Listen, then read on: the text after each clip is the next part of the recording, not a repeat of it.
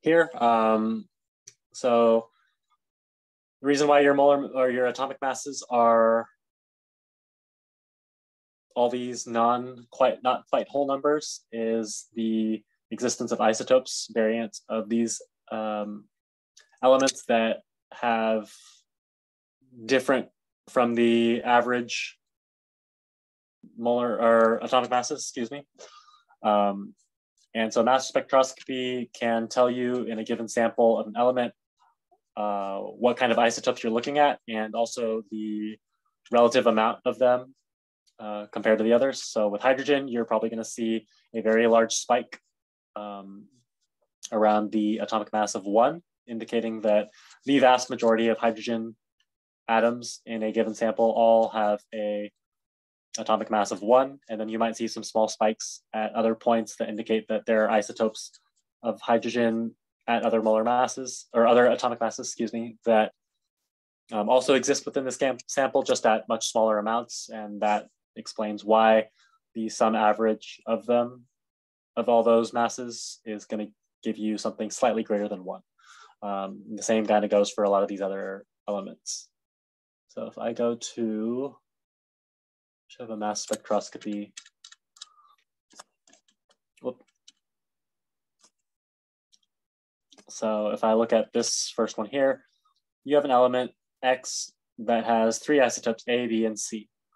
So isotope A has a mass of 50 atomic mass units, and it represents 70% of the naturally occurring element X. Um, so obviously this one is going to be pretty dominant since it's 70%.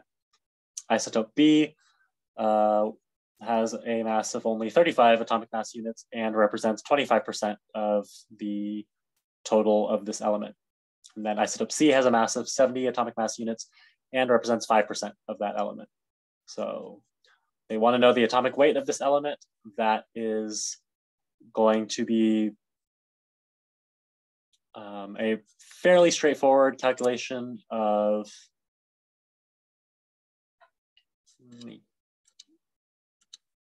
Whoa. Okay. Make the canvas a little bit bigger here.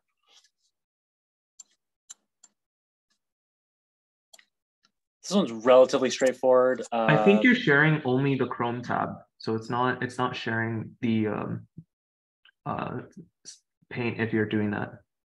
Okay, so I guess I have to share. Yeah, you have to share the whole screen. Okay, let me see if I can alter that real quick. Um, see. Sure.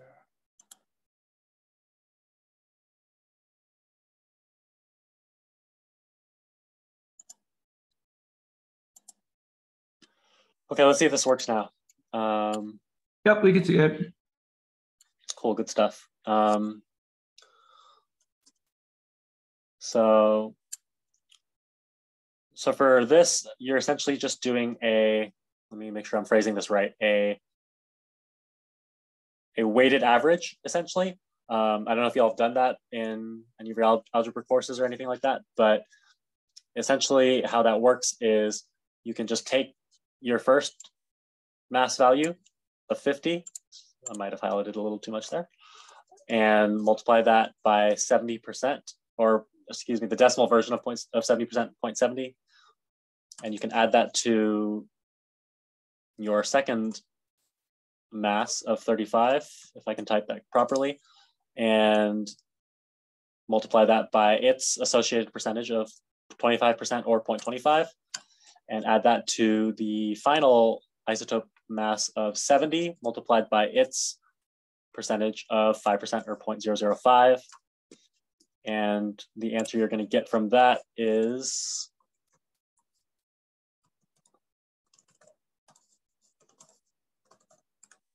Oh, I definitely did something wrong there. I apologize. Um, 59.7 plus 35. Ah, there's a, okay. I definitely did plus there. Sorry, guys.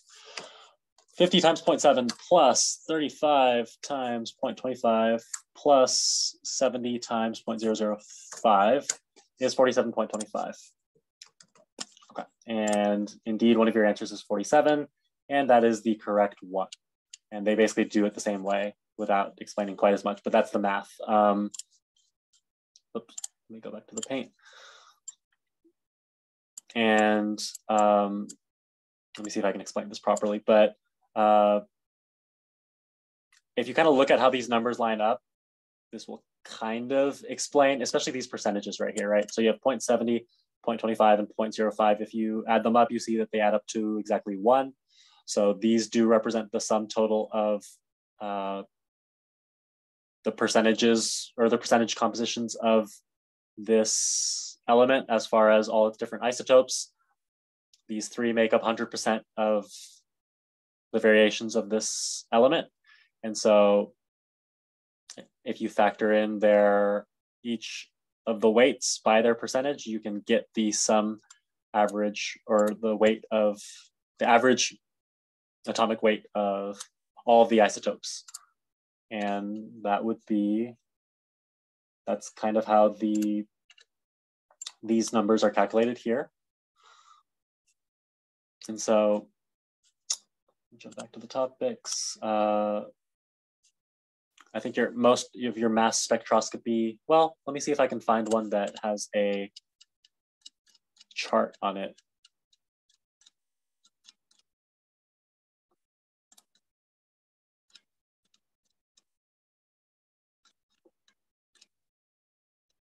Okay, masks. might be one on one of these AP free responses. Though these are a little bit tougher. So let me, ugh, me.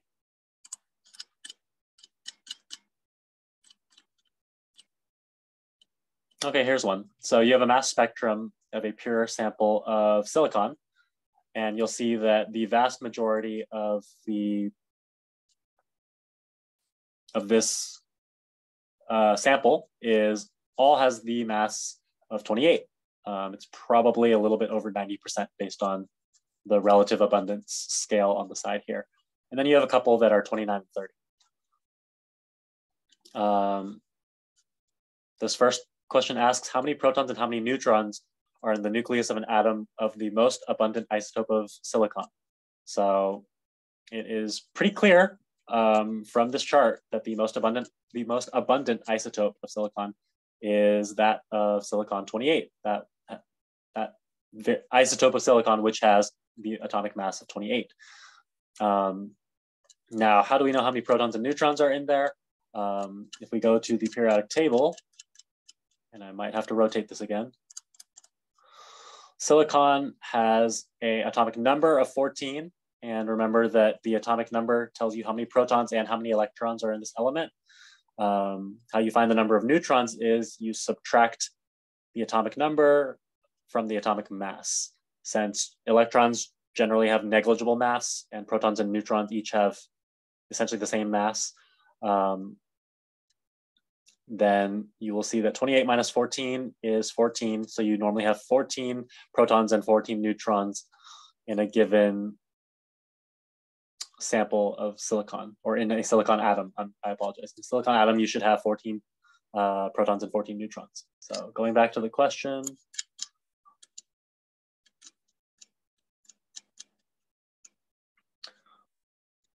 They're asking how many protons and how many neutrons are in the nucleus of an atom of the most abundant isotope, that is silicon 28.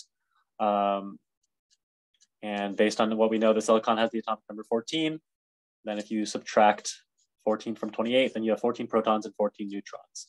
So that's, an, I guess, an example of using an actual chart provided from mass spectroscopy to kind of determine a given set of data that you might need to use for the question. Um, ground state electron configuration is kind of another topic, so I'll save that for later. But just wanted to be able to show y'all uh, what y'all might see as far as a chart um, when they ask you about mass spectroscopy or tell you that this is what you're getting from a mass spectrum. This is kind of how you interpret that data. Okay, so jumping back here, elemental composition of pure substances. This kind of is tangentially related to what we just talked about. Let me go here. Ah, so empirical formulas are going to be a big one, I guess. Um, So um, if y'all are familiar with empirical formulas, or if you aren't, that is essentially a, I kind of think of it like you're simplifying a fraction. So y'all would know that two fourths or three sixths is just the equivalent of one half. In the same way, um, if I was to take the formula C2H4, well, the empirical version of this is just CH2. Um, note that the empirical formula doesn't necessarily represent what that compound actually looks like, but it's kind of just reduce, I shouldn't say reducing, it is simplifying the uh, individual numbers of each atom or each element, excuse me, within the compound down to their most, um, I guess, their most simplified form. Um, if I was to take, and really this is mathematically just the same as, um, like I said before, you're simplifying fractions, or um, say you're finding the least common denominator between uh, these elements. So if I have something like, if I have something really complex like C3H5 O2 or something, then that's going to be its own, that, that is its empirical formula because you can't really simplify these numbers any farther down, if that makes sense. So um, going back to here, what we were talking about with the, or with this question, let me erase this real quick.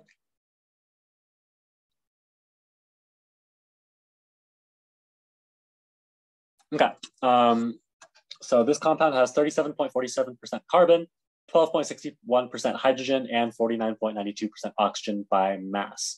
Now, what is the empirical formula for this compound? Um, so you have to keep in mind that these are percentages by mass, but because each element has a, a different mass, then that's gonna, I guess that'll complicate things a little bit. So you can't just say, okay, it's 37% carbon. That means that I could treat it as if it was like C37, H12, and like uh, O49 and try and simplify it like that because that's not actually a reflection of the um, chemical composition of the compound.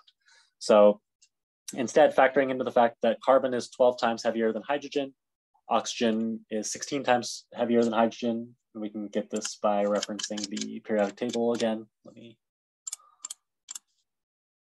uh, so oxygen being six weight, uh, atomic weight of 16, um, hydrogen being one, carbon being 12. Uh, if I go back to here, so I think the solution that they use here is probably a little bit more elegant than what I did, but um, I kind of made the realization that this is roughly three is roughly this about three times the uh, mass of carbon, which is 12.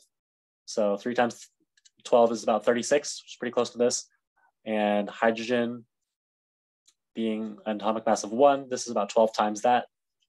And then uh, oxygen being 16, this is about uh, three times that as well. So if I were to, if I were to go ahead and say C3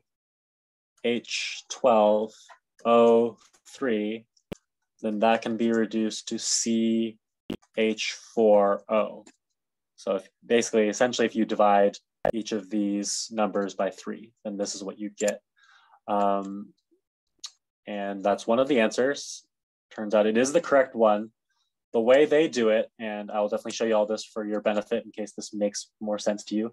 Um, they converted it into moles and used a molar ratio. And I would say that's definitely a good way to do it like systematically as far as just being able to break it down and understand it.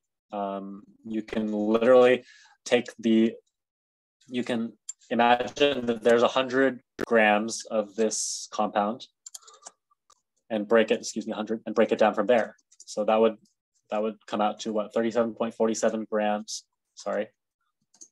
100 grams of compound would come out to 37.47 grams of carbon.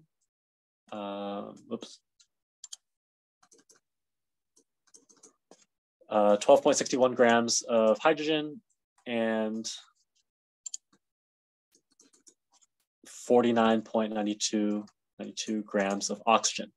Um, and they further, I guess if I was to multiply that by, I guess to find out how many moles there are, I'll do one mole over the molar mass, which is 12.01. 12.01 grams. And this is essentially flipped. Uh, it's a reciprocal of the molar mass, which normally you would see 12.01 grams per mole. I'm just doing one mole per 12.01 grams. And grams being in the denominator here will allow to cancel out here and give you a resulting answer with the unit of moles. So if I do 37.47 divided by 12.01, I get about 3.12. So it's 3.12 moles of carbon. And similarly here, if I multiply hydrogen by one mole over its mass of 1.008, then I get, oops, 12.61 divided by 1.008 is 12.6. 12 points, uh, excuse me, 12.5. What am I doing? 12.51, I guess. 12.51 moles of hydrogen. And finally, we do it for oxygen, oxygen being 16.00. And we get 49.92 divided by 16. You get 3.12, same as carbon. So, or same number as, as carbon, excuse me, same number of moles of carbon. Um, so you have 3.12, 12.51, and 3.12.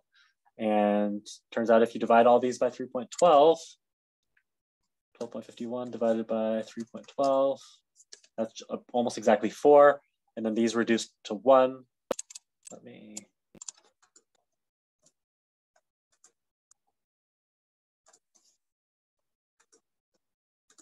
four for H, excuse me, and one, oh. So in that way, you end up with CH4O, same as what I did, but mine was a lot less pretty. Um,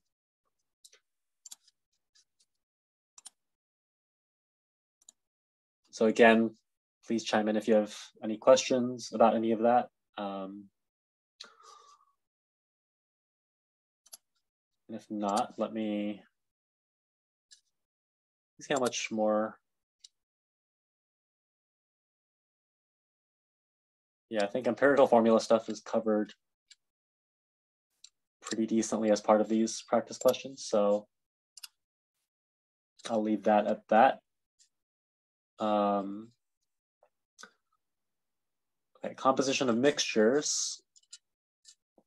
Let me see if I can if I can drag this away real quick. Um,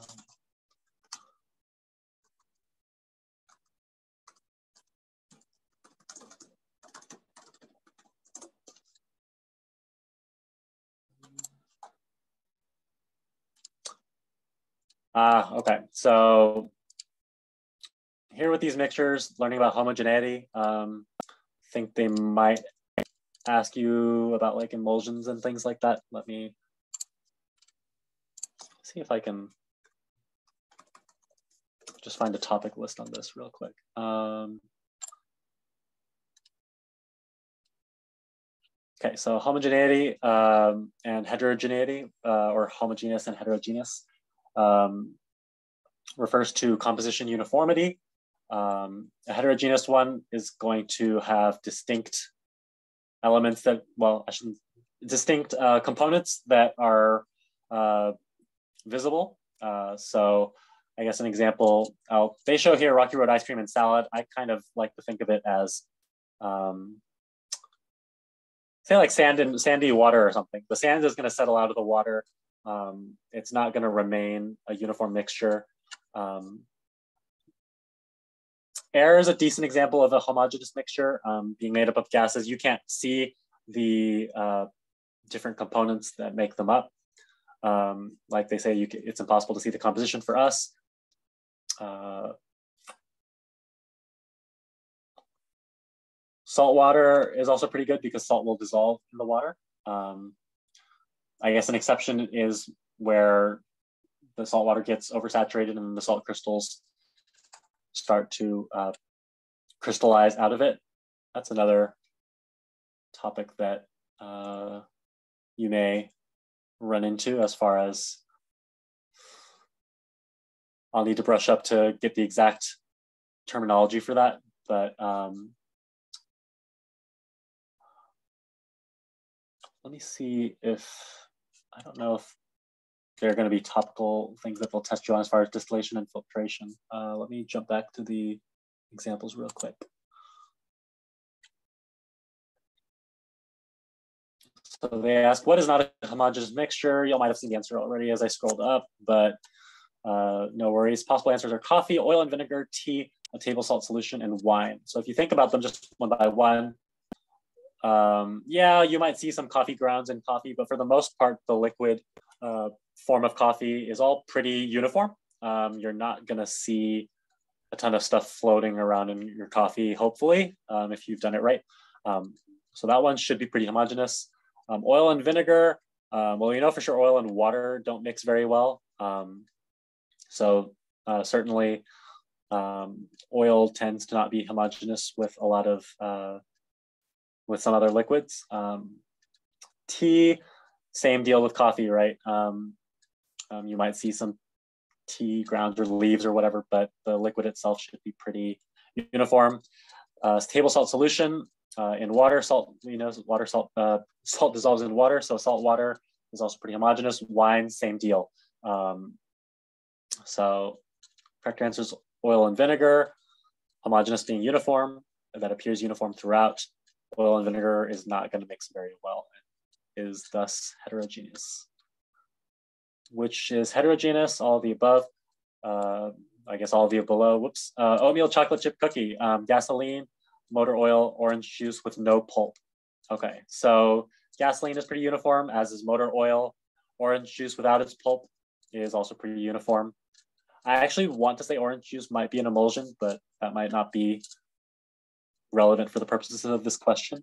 Um, and obviously your oatmeal chocolate chip cookie is going to be composed of a lot of different elements that are not blended very uniformly. So that's going to be your answer here. Okay, mixtures. Um, which the following are mixtures? Possible answers, all of the above. Distilled water, topsoil, B and C.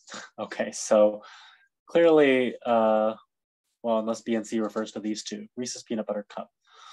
Um, So distilled water is not going to be considered a mixture. That's a pretty uniform. Okay, actually, hang on. Let me, say B and C. Yeah, so as I suspected, their answers get a little mixed up. So B and C doesn't actually refer to the second and third choices. But yeah, distilled water is not a mixture. Um, it's liquid water and nothing else. Um, on top of the fact that it got distilled, so it's they've filtrated out as many particles as they can out of that stuff. Um, so BNC probably refers here to topsoil and the Reese's butter peanut butter cup. So obviously your Reese's peanut butter cup contains chocolate and peanut butter. Um, and your topsoil can, can contain any number of uh, disparate elements. Um, so soil and other various like components that go into it um, will qualify as a mixture. Um, what differentiates a, um, a homogeneous mixture from a pure substance? Um, your possible answers are the composition of a pure substance is fixed. A mixture has a defined composition. A pure substance is always a compound while mixtures can be elements or compounds. A pure substance can be separated into elements by physical means and a homogeneous mixture is uniform throughout. Well, you know the last one is definitely true based on our definition of homogeneous or homogeneity before. Um, a pure substance can be separated into elements by physical means. This one I'm not so sure about. I I want to say it might take some more chem uh, chemical uh, I don't want to say techniques of factors to split them up. Um, a pure substance is always a compound, while mixtures can be elements or compounds. Pretty sure there are such things as pure substances that are like pure elements. Um, you'll you'll hear that referred to a lot. A mixture has a defined composition. Uh, I feel like this defined is a kind of a loose uh, term. It's not very definite, ironically. Um, it's uh, and then a composition of a pure substance is fixed. So turns out that is the answer. The, a heterogeneous mixture is a mixture of two or more components that do not appear uniform throughout. Pure substance contains only one component that has a fixed composition. Let me read that one more time real quick. Um, a heterogeneous mixture is a mixture of two or more components that do not appear uniform throughout. Yeah, that we know. A pure substance contains only one component that has a fixed composition. Homogeneous mixture. Don't know why they used a heterogeneous mixture to for a question asking about a homogeneous one. I'm wondering if maybe they meant to ask about a heterogeneous mixture, but I apologize for that probably lackluster example. Uh, let me jump back up here. Yeah, this is definitely more on the just not theoretical, uh, conceptual. Yeah, it's like conceptual. You're not going to be doing a whole lot of calculations um, or num or working with numbers as far as this. They're probably more going to test you on theory when it comes to mixtures. So a lot of definitions that you'll be working with, well, not a lot, but some definitions that you'll be working with there. Uh, probably mostly going to be vocab and an understanding of exactly what defines a mixture, knowing homogeneous versus heterogeneous. Um, I don't know, excuse me. I don't know if they'll test you on emulsions, but I'm just going to jump to the article real quick because in case they do, I think I think I definitely at least had to run across this term back when I did AP chemistry way too long ago. Um, so an emulsion refers to a mixture of two or more liquids that are normally immiscible, which is unmixable or unblendable, um, owing to a liquid-liquid phase separation. Uh, let me move this over so I can actually see this. Um, emulsions are a part of a more general class of two-phase systems of matter called colloids. Um, one substance consisting of microscopically dispersed insoluble particles is suspended throughout another substance. Um, I think a pretty good example of this is milk. Um, see if they actually, yeah, so, okay, emulsion or liquid crystal example, milk, mayonnaise, hand cream, so they have a lot of examples here. Um, pretty sure these kind of uh, fall within the middle ground between what is considered uh, homogeneous and what is considered heter heterogeneous. Um, obviously, a lot of details here that y'all will not have to know for the exam, but um, just understanding that there does exist kind of a middle ground, a gray area between hom homogeneity and heter heterogeneity, um, colloids and emulsions. Yeah, homogenized milk falls into there. vinaigrette, interesting. Um, so yeah, I don't want to dive too deep beyond what y'all would actually have to know there. So um, atomic structure and electron configuration.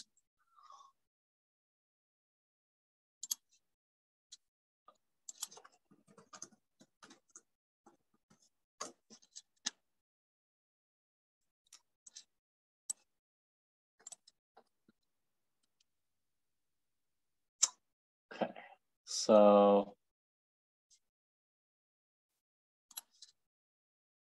okay, Lovely, atomic theory. Um, so the, the bare basics, obviously your protons have a mass of one, have a charge of plus one. Your nucleus, your nucleus, excuse me, your neutrons have a mass of one and a charge of zero. And your electrons have a mass of effectively zero and a charge of negative one. So those are your three subatomic particles and the foundation on which all of this is based. Mostly when it comes to, yeah, with, with AP chemistry, the big, uh, the big kicker is electron or electrons. Um, knowing electron configuration um, is going to be quite important to y'all. So let me skip over this for the moment. Coulomb's law, yeah, y'all are going to run into this. Uh, this quantifies the electric force um, of attraction between two atoms and can be calculated using this equation, which you will have on your formula sheet. Um, that is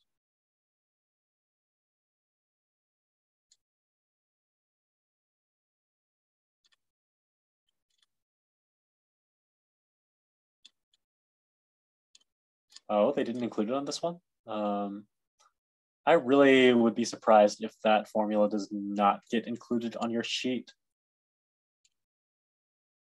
Yeah, that kind of seems unlikely that they would ask you to memorize one formula while giving you all the others. But in any case, um, the force of electronic attraction or repulsion is given by Fe equals K Q1 Q2 over R squared, R squared being the distance between the centers of the atoms.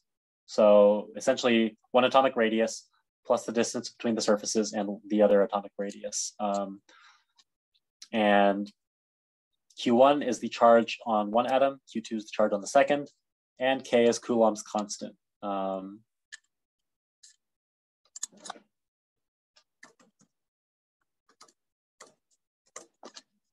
which is 8.99 times 10 to the ninth newtons meter squared over Coulomb squared. Um, oh boy, this one as well. Uh, jump back real quick. Yeah, you should not have to memorize this form. I'll just say that right now. Um, I might have missed it when I was looking at the formula sheet. If so, I apologize. Um,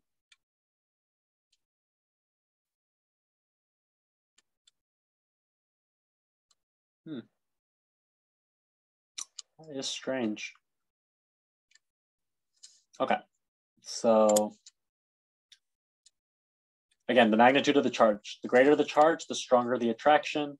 Um, and the closer the particles, the stronger attract the attraction. You can uh, see from the formula that that works because um, your your radius, or sorry, I shouldn't say radius, the r distance between the uh, centers of the atoms is in the denominator. So the more you shrink this distance, the larger your overall force is going to be. Like the smaller the denominator, the greater the overall magnitude of your fraction. Um,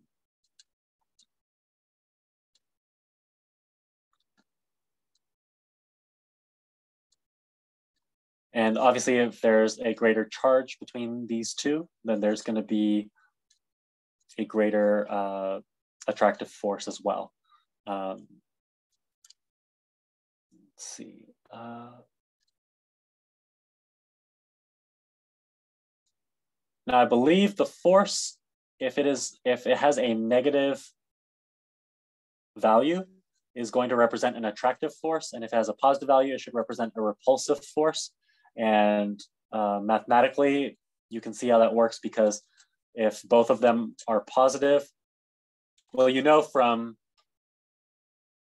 even like magnetic theory and poles like there that uh, positives or that what opposites attract and like repel. So um, two positively charged atoms are going to uh, repel away from each other. Um, two negatively charged atoms should also repel away from each other. Um, positive and negative will, of course, attract. So if Q1 here, if Q1 is positive and Q2 is negative, then your whole, your final force is going to be negative. Same deal if Q1 is positive, or excuse me, I said Q1 positive, Q2 negative. If Q1 is negative and Q2 is positive, then again, the whole thing's gonna be negative. So the force should be attractive. Um, if Q1 is negative, Q, or if both of them are negative, then your final force is gonna be positive and they repel from each other. If they're both positive, again, your final force is positive and they all repel from each other. Okay, the Bohr model. Um, this is a pretty decent visual representation, if not fully scientifically accurate, as to how the electrons um, are arranged. This can help with the understanding of your valence shells, um, or your electron shells and the valence one. Um, so sodium has 11 electrons. Um, two are in the first ring, eight are in the second, and up to eight can be stored in the third, but there's only one because two, eight, and then one is a total of 11. Um, that one valence electron in the outer shell um, is going to be reactive with uh, anything that it can form a bond with, or uh, in the case of sodium, it's going to form an ionic bond and I want to say in the loosest sense, it's donating its one extra electron to another uh, it's ideally seeking to donate its one electron to another atom that it can that, that will cause them to both become more stable when it donates its one electron. Um, the valence electrons or the outermost electrons have the most energy. Electron configuration. All right, here we go. This is where it gets uh, more intensive, I guess. Uh, so your electron orbitals, um, the subshells are SP, D, and F. Um, they can be seen in the periodic table itself uh, by different blocks that the tables can be broken up into. Your S block is going to be the first two columns or groups, um, and the S subshells hold only two electrons apiece. Uh, your P subshells hold six apiece, and as you can see, there are six columns uh, or six groups of the periodic table that um, correspond to the P subshell. Um, essentially, atoms, or excuse me, elements within these blocks will have their outermost layer of electrons uh, falling within these P uh, subshells. So for example, if I go here to say oxygen, oxygen is going to have its last layer of electrons, essentially uh, the, be four electrons within its uh, 2p subshell. And I say 2p because um, that corresponds to the, the second period um, or the second row that oxygen resides in. So second row, two, and then this being the P block, oxygen is gonna have 2p4 as its as the final part of its electron configuration. So um, 1s, um, helium is kind of that exception where even though it kind of sits on top of a bunch of p block elements, it is actually part of the s, the s or the 1s block. So here, if I can kind of shrink this and make it work here, uh, O can be represented by uh, 1s2. That represents the two electrons in the 1s subshell. Um, counting across, that's these two. And then 2s2 is going to be these two right here. 2s2. And then finally, 2p4 is going to represent the final four electrons that lead up to where oxygen is in the table. So you can kind of count using the periodic table this way. If you just remember that the S blocks are here, well, the S blocks normally are these two columns, but helium is part of that just because of the slightly odd arrangement of the periodic table in this regard. Um, and then you have, so 1s2, is here. 2s2 are these two, and then 2p block is are these six, and then oxygen is the fourth one there. So that is your electron configuration for oxygen. Um, the fact that oxygen does not have an entirely filled p block, because the p block, the 2p block can go up to six, and oxygen only has four. Those last two missing electrons are going to be the main factor in oxygen trying to bind with other elements in order to try and fill that p block and become stable. Um, go back to here. Um, the D block, the transition metals, um, this is where it gets kind of, I don't want to say ugly, but um, I think the D block is probably the most, one of the more complex ones to work with. They go across, there's up to 10 of them. Uh, the counting method for these also gets kind of interesting. And I know I've got a Hund's rule probably describes it a little bit. Um, electron configuration.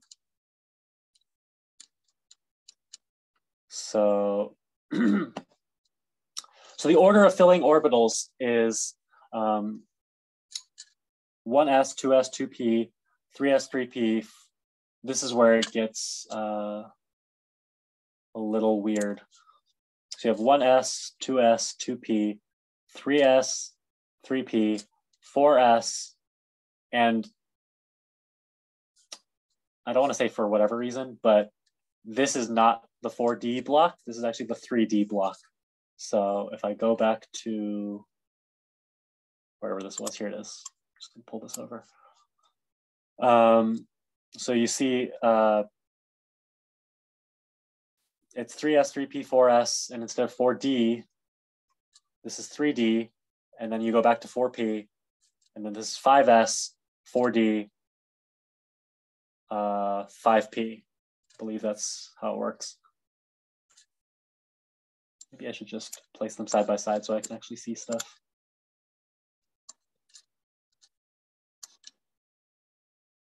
Okay, so 1S, 2S, 2P, 3S, 3P, uh, 4S, 3D, 4P, 5, uh, 5S, 4D, 5P, 6S, uh, and then they have the four the F blocks down here as well. Um, the Larry on this is, I don't want to say strange. There's like a method to the madness, but um, if you look at the way these kind of stagger, gives a little bit of insight into exactly how the that arrangement of or the ordering of those blocks and in the order in which they're filled, how that works. So if you have one S, so if you essentially look at these rows, like the rows can kind of be laid out like one after another underneath each other like this, but the way in which they're filled kind of has this staggered staircase approach. So you go 1s down to 2s to 2p. This is still a pretty linear order. 2p to 3s to 3p to 4s. Now the D blocks start appearing um, beyond the three, beyond the three period, I guess. Excuse me. And then um, with the fourth uh, period and beyond, you start having the F block here. uh, jump back here actually back to here. Um, 4F, 5F. Uh, all right, so electron configuration rules. Aufbau principle um, states that you fill electrons in order of increasing sublevel energies. Um, so that kind of dictates the order that we were talking about here. Um, Pauli exclusion principle states that no two electrons in the same suborbital orbital can have the same spin. Uh, if I go here to paint, I can kind of illustrate that a little bit because they probably have it on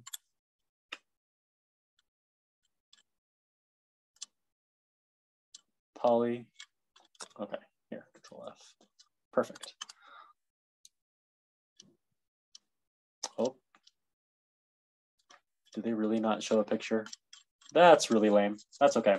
Let me draw out real quick.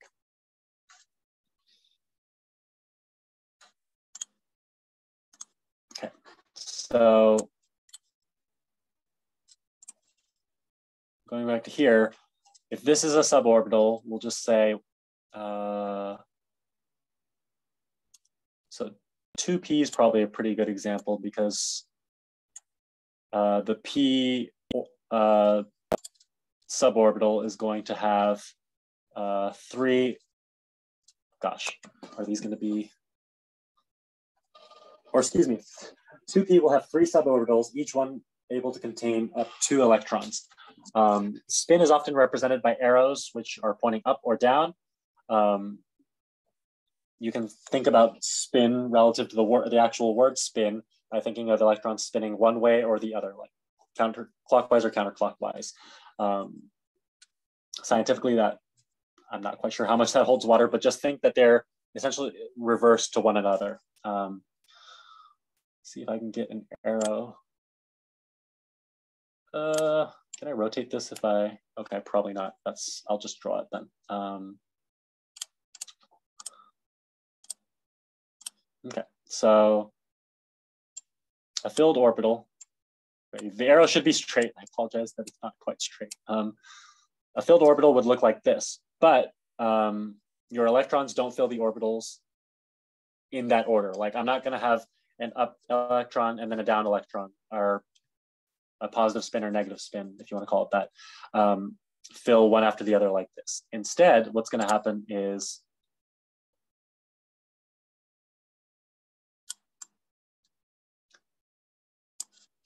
instead what's going to happen is your we'll call the up arrow the positive spin electron and instead your positive spin electron is going to fill the first or it's going to um, occupy the first suborbital and your second electron is going to be positive and fill the next orbital like this.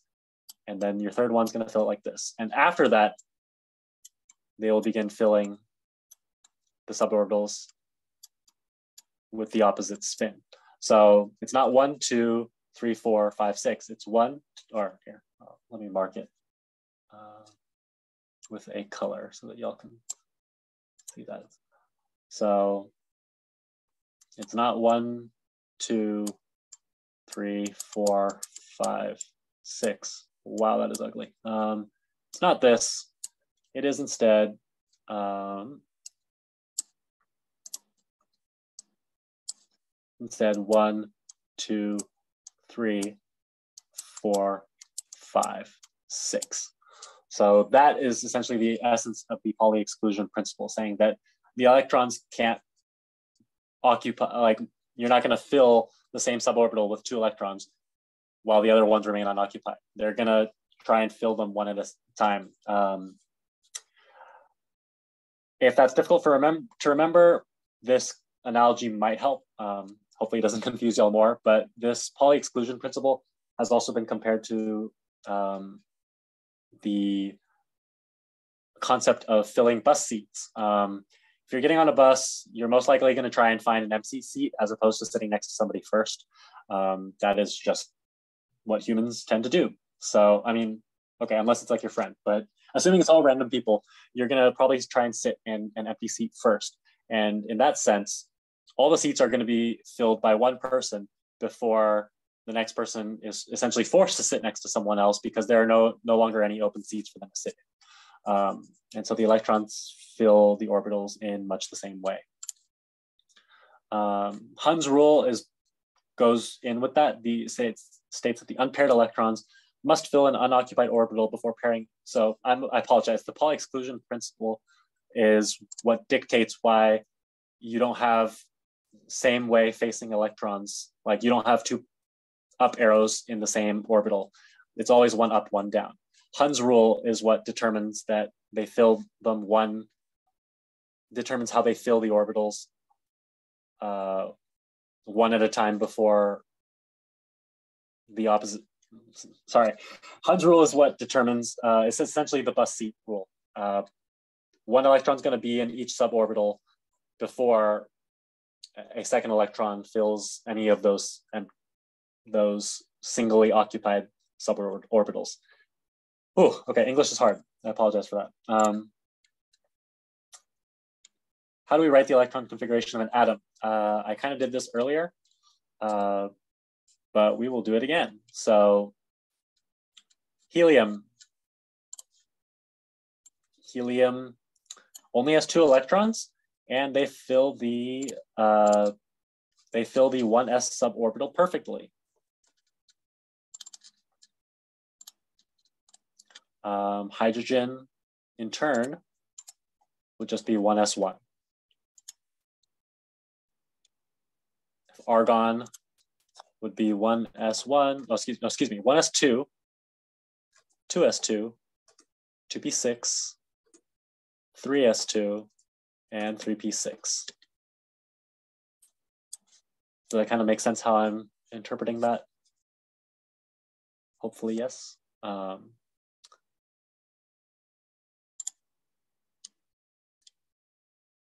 oh, this is probably good to know too. So there is a shortened way, an abbreviated way of writing electron configurations that essentially uses the nearest noble gas, the noble gases being the last column of or the last group in the periodic table, group 18. Um, these are all noble gases, helium, neon, argon, krypton, xenon, radon. And this is new, I don't know this one. Um, but you can essentially use the noble gases to represent all the filled orbitals before that. So earlier I was talking about argon. If I go back to paint, instead of writing out all these orbitals, instead I can skip to the nearest noble gas to argon, which is neon, the preceding one and I can write this, which will, the bracketed neon will cover 1s2, 2s2, and 2p6. So I no longer have to write any of that. And after that, I just write 3s, 3s2, 3p6, and that is argon. So hopefully that makes sense. Um, they're probably not going to test you on knowing how to write that configuration, but they might have questions where they just use that configuration straight up. So it's good to understand uh, what you're looking at, right? You don't want to be confused by that that notation, and then uh, so it's a good writing method to know. All right. Uh, here's a decent uh, example, kind of showing what we were talking about earlier. So boron being 1s2, 2s2, 2p1, you're going to fill these orbital, the 1s2, or the 1s orbital first, the 2s orbital next, and the 2p's, you just have one electron in there. Um, here's a good graphic showing what is correct, what is incorrect. When you're in the 2p2 orbital, if you have, or when you're in the 2p orbital, if you have two electrons there, it's going to be one and one. It's not going to be one and two together in the same suborbital. Again, they fill them one at a time uh, in one direction before they fill the rest or the same orbitals in the other direction. When I say direction, I'm referring to the electron spin, the up arrows versus the down arrows. FE, all right.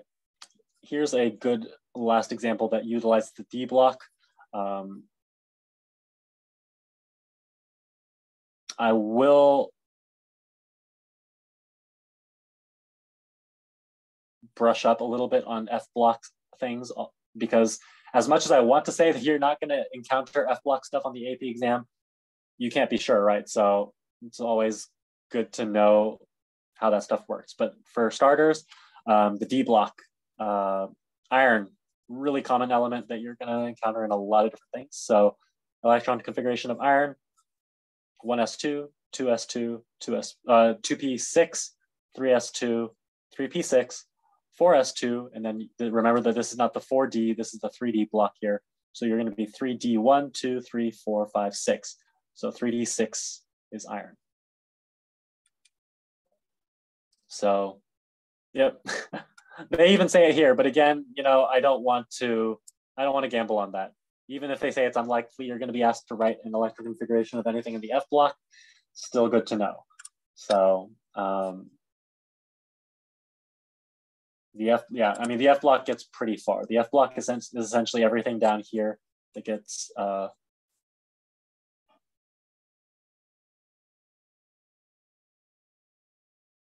uh, where the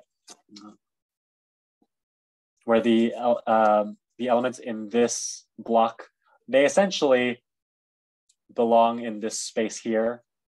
Obviously, the periodic table pulls them out because otherwise you're going to get this massive like offset here where all these get pushed out to the right by all of these. But essentially, these belong in this section here, and these represent the F block elements. Um, yeah, it gets a little bit nasty. I will not lie. Um, okay, uh, let me jump out to the next topic real quick. Um, we got into electron, electron configuration, photoelectron spectroscopy.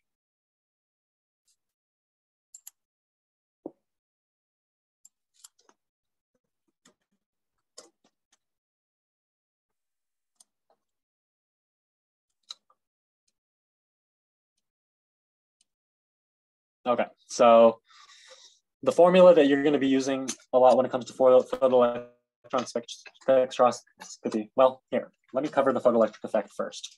Um, someone discovered at one point that when you shoot light um, onto a metal, it can eject an electron. Um, essentially, when the photon has enough energy and hits the surface, um, yeah, it can uh, emit an electron. And that is only if the frequency is high enough, frequency corresponding to the photon's energy. Um, when the frequency of light reaches a certain threshold, and that can be characterized by this formula right here, the energy of the photon is equal to Planck's constant h. At least I'm quite sure this is Planck's constant.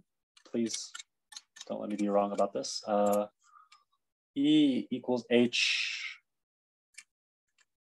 think that's a lowercase lambda. I need to brush up on my Greek letters. Where is this? Ah, here we go. Very beginning.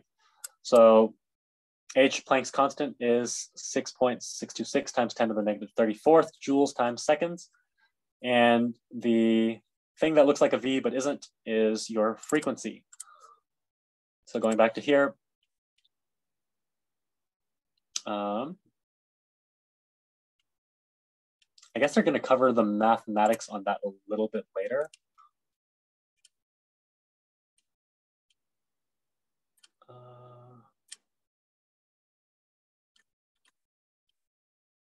oh, that might be, I don't know if that takes place in kinetics, but oh, okay, here, yeah. Photoelectric effect is covered in more detail in intermolecular forces and properties a couple weeks from now. Okay, so don't worry about the math for this just yet. We'll get back to that later. Um, but understanding that the photoelectric effect is a result of light hitting a metal and popping out an electron. So, uh, ugh, binding energy. Um,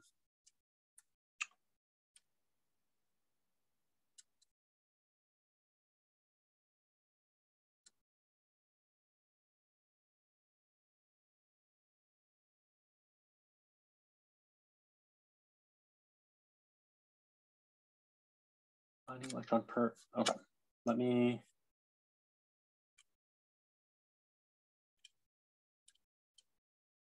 All right, so photoelectron spectrum, this chart that you might see here, showing a number of electrons on the y-axis and a change in energy on the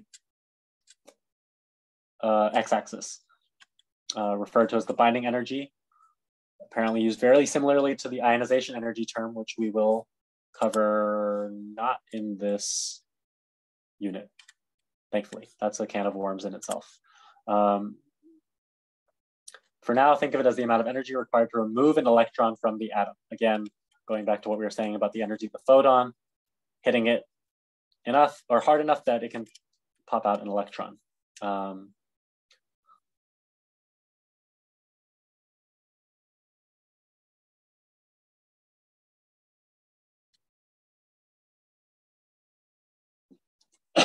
excuse me.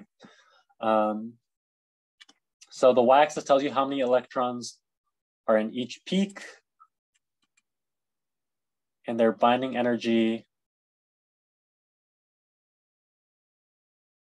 Let's see. Uh, the peaks represent uh, the orbitals where the electrons are found. Um,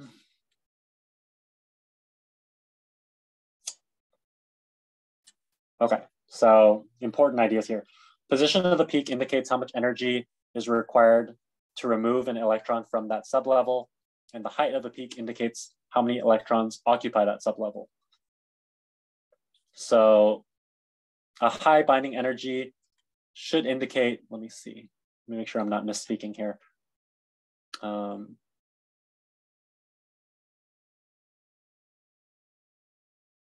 okay, so the binding energy of electrons near the nucleus is going to be the highest because the nucleus um, is attracting the electrons nearest to it most strongly. Um, and so in this case, what they're explaining here is that since this chart puts the energy level at the highest on the left, then your peaks closest to that high energy level are most likely corresponding to electrons nearest to the nucleus. Um, so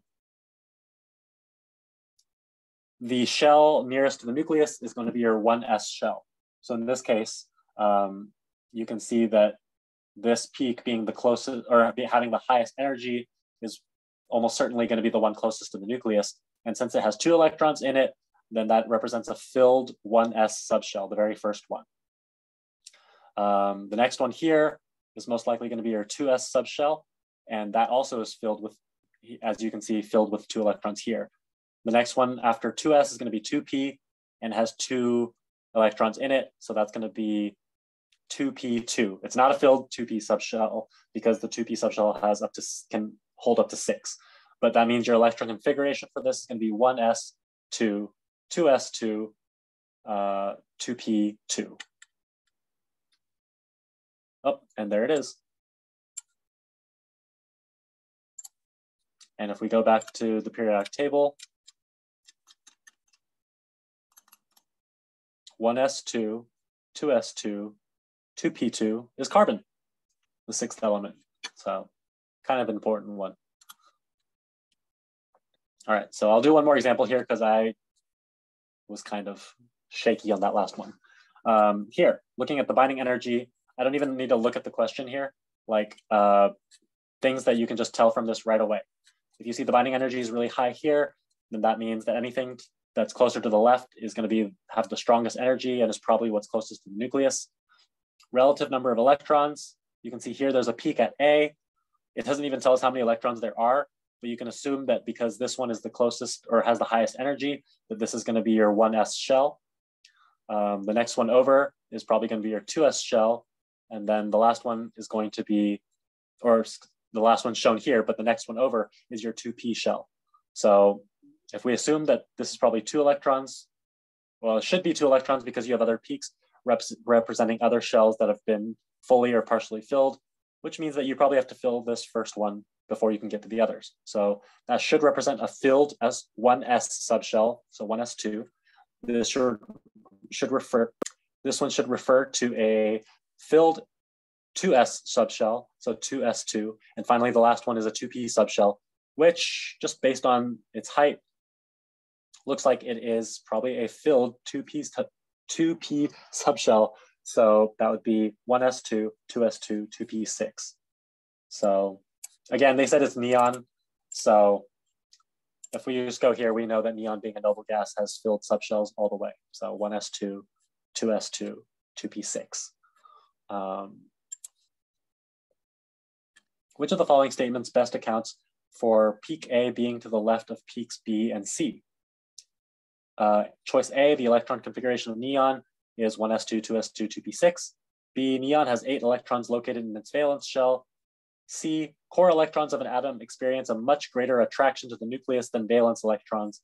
And D, peaks B and C show first ionization energies in neon, where peak A shows the second ionization energy of neon. I want to say the answer is C. Going to what we were saying before, um, the binding energy is really high um, on the subshell that is, that is closest to the nucleus because the closest one will experience the strongest attraction to all those protons that are there. And turns out the answer is C. Woohoo. Um, core electrons of an atom experience a much greater attraction to the nucleus than the valence electrons. This goes back to the concept that the electrons closest to the nucleus have a higher ionization energy or binding energy, which is displayed here. All right. Um, that aside, let's go to periodic trends. These are definitely important to know. Um, uh, periodic trends. Okay. So your first trend is electronegativity. Um, electronegativity describes the atom's ability to attract and bind with electrons.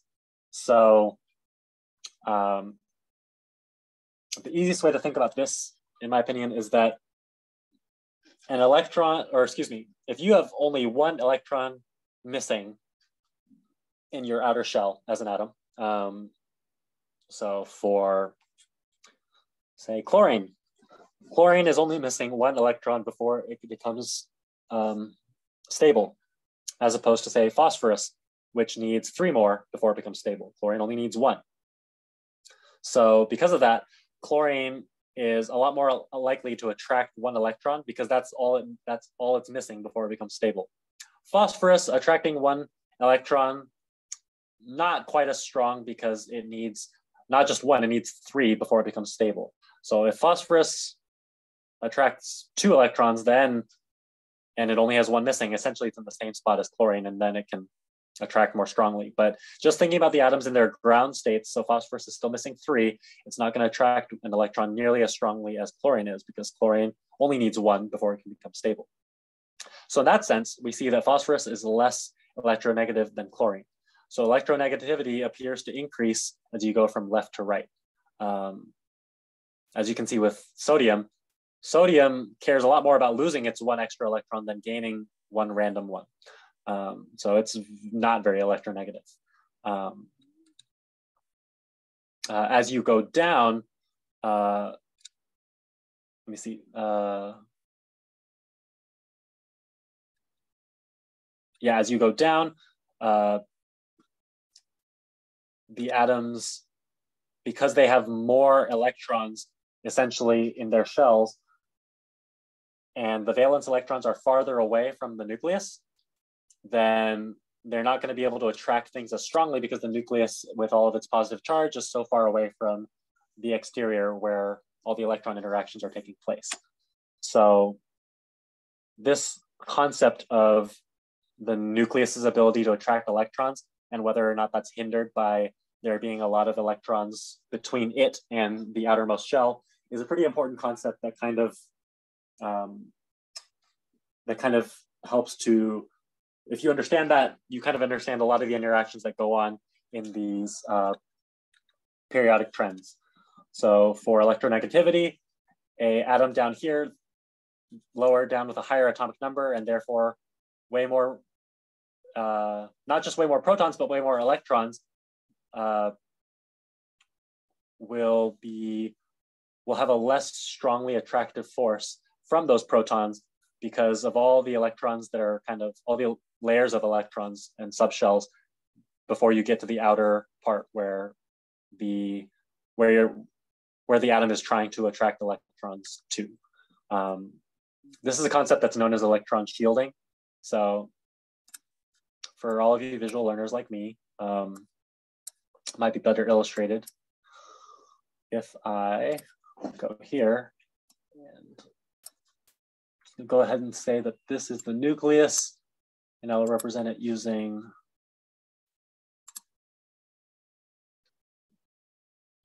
red. And there are protons and neutrons in here, but I will represent the electrons using yellow.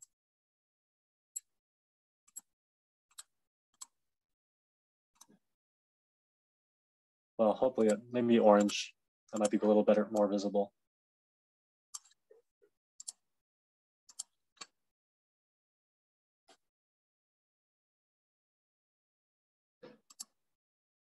And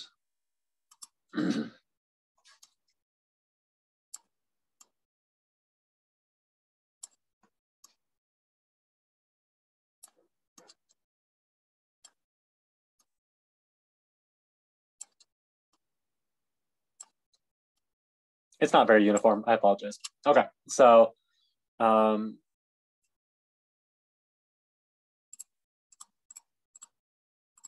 oh, that was not my intention. Not cool. Uh, man, I really wish I could. Okay. Okay, so this is an atom with a lot of electron shells. Uh, for now, to save me drawing like 30 electrons, uh, we'll just assume that all the inner shells are filled. And we'll say there's one electron in the outer shell. Um, now compare that to an atom that looks like this.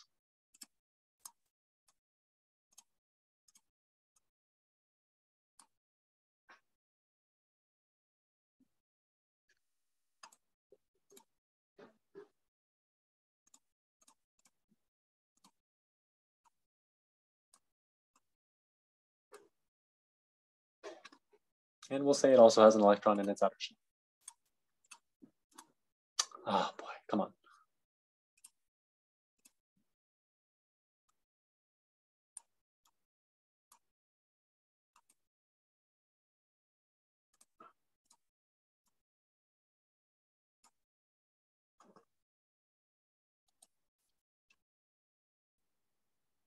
All right, so you have two atoms looking like this one is much larger than the other. If we say that all these inner shells are filled, um,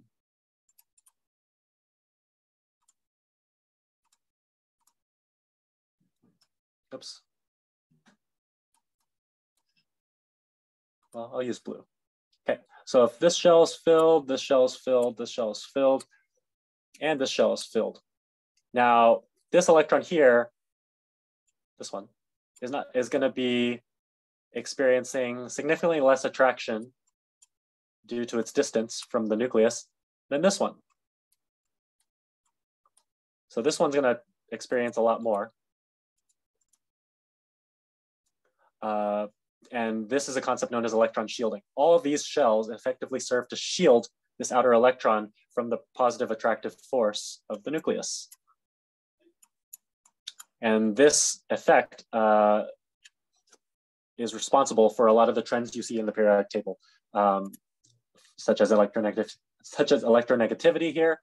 Um, like, uh, all right, I will take a hopefully brief moment to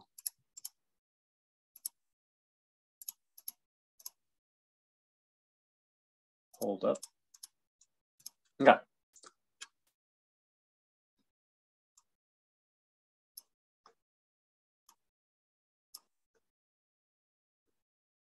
Okay, that was not my intent. Uh, come on.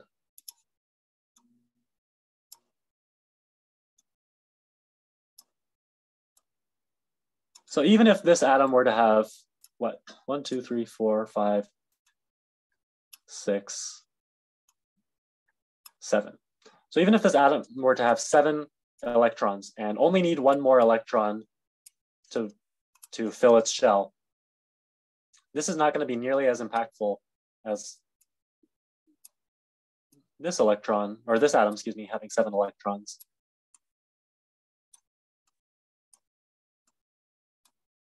Three, four, five, wait, one, two, three, four, five, six, seven. Yeah, and the reason for that is uh, an electron over here is going to is much more likely to be attracted to that nucleus just because there's so much less distance for between it than this one because it's shielded by all these electron layers. Um, so again, that contributes to the whole electronegativity concept of this atom being much more able to attract an electron than this atom. So your smaller atoms up here that are also have like seven valence electrons are more likely to be highly electronegative than the atoms with a ton of electrons shielding their way to the surface um, and have a large uh, distance distance. So a lot of electrons shielding, creating distance that that, and also these having less valence electrons, right? Francium only having a single valence electron is not anywhere near to completing its shell. So you could say it's just not very motivated to get only one more electron. Getting one more electron is not very appealing. Like only one, right? Getting only one more electron is not very appealing to a francium atom. Okay, that long-winded explanation fortunately also helps us to explain, uh, let me skip ionization energy and come back to it. Um, electron affinity is the ability of an atom to accept an electron you could almost say it's how much an atom wants an electron. Electron affinity, affinity meaning I think of it as like getting along with something, but um, uh, they it share it is essentially the same directional trend as electro uh, as uh, electronegativity, but the concepts are not quite the same. So electron affinity is a quantitative measurement um, so it has a number associated with it of uh, the energy change that occurs when an electron is added to a neutral gas atom. So uh, the more negative the electron affinity value, the higher the atom's affinity for electrons. Um, now, I believe this is due to the energy change being negative because uh, an, an atom should release some energy when it goes to a more stable state. So essentially, again, same with electronegativity. These atoms have a much higher electron affinity, um, which is represented by a, a, larger magnitude negative number, uh, kind of reflecting the energy that they will release as they go to a more stable state if they get one more electron. Um, Going down, again, we'll say francium is our extreme example. Francium is not very, does not have a high electron affinity because it's just not motivated to get only one extra electron. Um, not to mention, it uh, is a large atom with a ton of layers of electrons between the nucleus and the outside. So it's just less likely to attract an electron. Okay, um, atomic radius. This is the opposite. Um, these are literally how big are the atoms. Um, and francium is huge. Francium has uh, a large atomic radius because of all of its uh, all of its uh, layers of electrons. And see, um,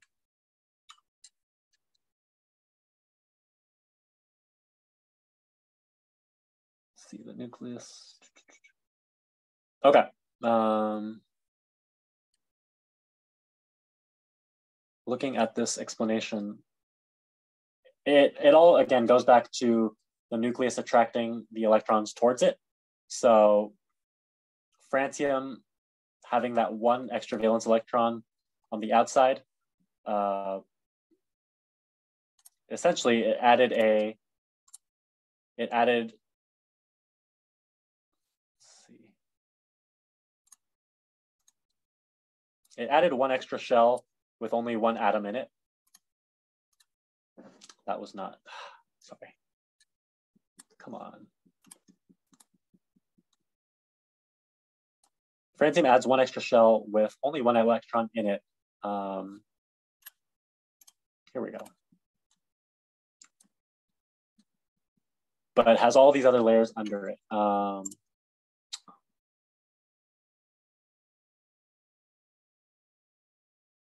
the the reason why uh, the atoms or the elements that follow francium are smaller than it are because even as it is uh, adding more electrons to its outer shell, it is also adding, when I say adding, sorry, as you go up element by element, as uh, even as they gain, as they have extra electrons as part of their outer valence shells, they also have extra protons in their nucleus. And those extra protons serve to essentially contract and pull the different electron, all the ele electron shells of that atom closer together. So um, from francium, uh, even as you get more electrons and you might think the atom might get bigger. It'll actually get smaller because the protons will attract it a little bit more and shrink it just that by that by just that much more. Okay. Um, the melting point trends are not super consistent. Increasing metallic character. Um, the alkali metals, the leftmost column, are the most uh, metallic, and they are also known as some of the most reactive elements. Uh, a lot of these guys can explode or catch fire just in the presence of oxygen. Some of them catch fire when they get thrown into water. It's, there's some pretty wild behavior from these, like lithium, uh, cesium, francium. Um, and as it turns out, these are the most metallic. Uh, I want to say that you can, yeah, you can define metallic character as how much an atom wants to lose a single electron. So in contrast to what we were saying earlier about all these atoms on the far right really wanting to gain one electron, these are the polar opposite. These want to lose one electron because one electron lost is going to make them more stable. So lithium, sodium, potassium, rubidium, cesium, francium are all really wanting to lose one electron because that'll essentially turn them into a noble gas configuration, not into an actual noble gas, but it'll give them a stable configuration of their electrons. So uh, again, the opposite of electronegativity, electron affinity, where all those want to gain an electron, these guys want to lose one electron. And that's uh, characterized by this description or by this concept of metallic character.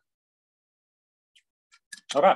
Um, I did skip over ionization energy, so let's go back here.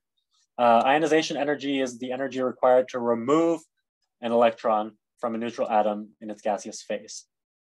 The idea of turning it into a cation.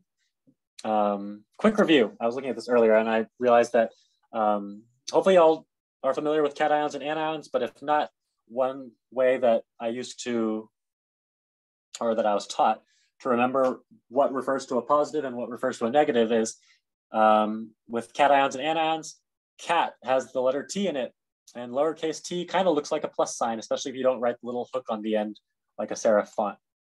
So if you just write your, t, your little t like a plus sign, then you'll know that the cation is the positive ion and the anion is the negative one. So just a quick little tidbit. Um, so ionization energy, you're trying to turn an atom, you're trying to turn an atom into a cation, into a positive ion by removing a single electron. So the higher this energy is, the more unlikely it is that the atom that the atom becomes a cation. Um, again, uh, the guys on the right have really high ionization energies because they don't want to lose a single electron. They want to gain an electron. So the ionization energy representing, I guess, the amount of energy that you need to, to pull an electron away. Well, you're going to need a lot of energy to pull an electron away from these guys because they really want an extra electron. They don't want to lose one. And here, you hardly have to expend any energy to pull an electron away because that's exactly what these elements want. They want to lose an electron to become more stable. So hopefully that makes sense. And I, that should cover all of the, period, the major periodic trends, electron affinity, ionization energy, electronegativity, all increase from bottom left to top right. And then your atomic radius and your metallic character will increase from top right to bottom left. That's a lot, I know. So it's definitely not something I picked up in a day back when I learned it. So feel free to ask questions again. Um, whether, if not in Zoom, y'all can also email me or whatever. Um, so going back to here, sorry, going back to here, topics. Well, we've covered periodic trends, covered pretty much everything except for valence electrons and ionic compounds. So uh, we well, we've already talked about valence electrons a, a decent bit. Um, that's referring to the outermost shell of electrons, um, which kind of determines the character of that element entirely, uh, or in a lot of ways. So like we said here, these alkali metals, um, only having one valence electron, they really want to lose it to become stable. These guys in the, uh, oh goodness, the halogens, yeah, the halogen column, uh, group 17, these guys all really want to gain one electron so that they, they can become stable. Um, and these guys all have, not all of them, but fluorine and chlorine, for example, have seven valence electrons in the second orbital, uh, or the second electron shell. And so one more is gonna get them to eight. That's the stable number. Uh, lithium has three. It drops one and then it goes to two, the stable number. Sodium has 11. It drops one and goes to 10, the stable number. Um, jump back to ionic compounds. Valence. Yeah, valence electrons are the outermost electrons in the atom, found in the s and p orbitals of the outermost shell. Um, oh, interesting. A gap in ionization energies could tell us how many valence electrons an element has. And elements in the same group on the periodic table have the same number of valence electrons. This is a good one to know. Um, I didn't really highlight it, so my fault, but this is a good kind of relationship that you should know when looking at the periodic table. Anything in a given group always has the same amount, and groups being the columns, always has the same amount of uh, valence electrons. Uh, in case you're having trouble with uh, distinguishing between groups and periods, periods being the rows, groups being the columns, um, one way you can think about it, unfortunately, this might not apply to everyone depending on which high school you go to, but if you went to high school in Plano, um, you probably have seven periods in class periods in one day. So uh, as you can see here, the primary the periodic table has seven rows, seven periods. So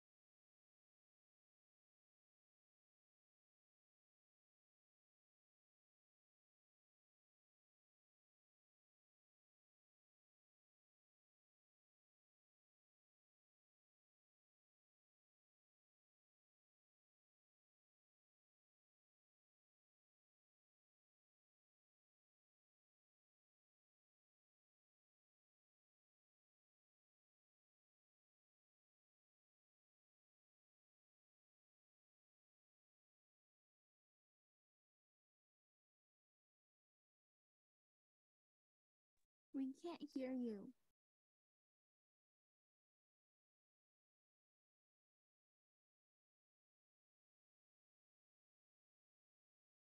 You're muted.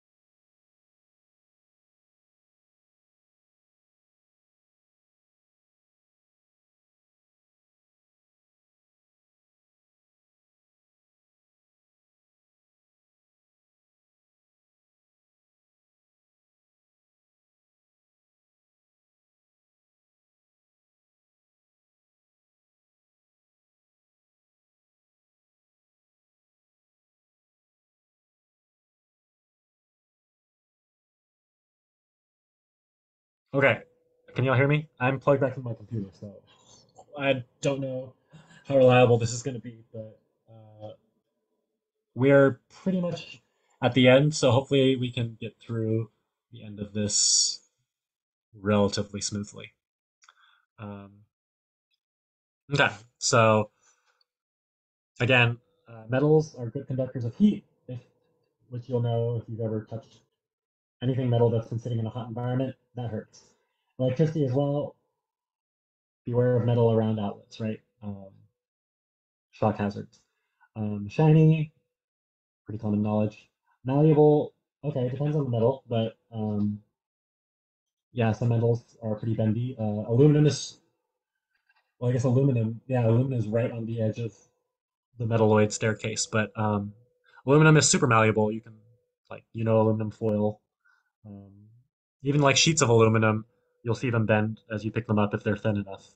Um, ductility refers to the ability to pull a metal into wires. Um, I really doubt you'll get a conceptual question on ductility, but just in case you do, uh, just think of it as being able to pull something into wires. And we all know how commonly metals are used in wires.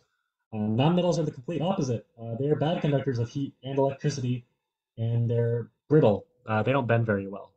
Um, if you think of something like carbon, right? Like coal, charcoal. Charcoal doesn't bend very well. It breaks into little pieces. Um, uh, but nonmetals can be used as insulators um, because they're specifically because they're not great conductors of heat and electricity. And then metalloids, uh, like we said before, or, or I don't know if you all heard me when I was talking about it, but metalloids have properties of both metals and nonmetals. And okay, no worries. Yeah, sorry for all the technical difficulties earlier. Um, are we good if uh, I can provide like my email or anything, or uh, if y'all want to shoot individual questions at me. Um, and I will also send out a Google Doc with some practice problems, um, which I'm not quite done making, but I will send that to y'all so that you can have something to mess with during the week. Um, it may or may not contain some of the examples I worked on, but it should also contain plenty of ones that y'all haven't seen yet. So um, just something for y'all to look at if you want extra practice. And if you have any questions on them, you can also throw those my way as well. So I can go ahead and maybe put my email in the chat. Copy that down, and uh, then we can work from there. Uh, for the Google Doc link, um, where would be best for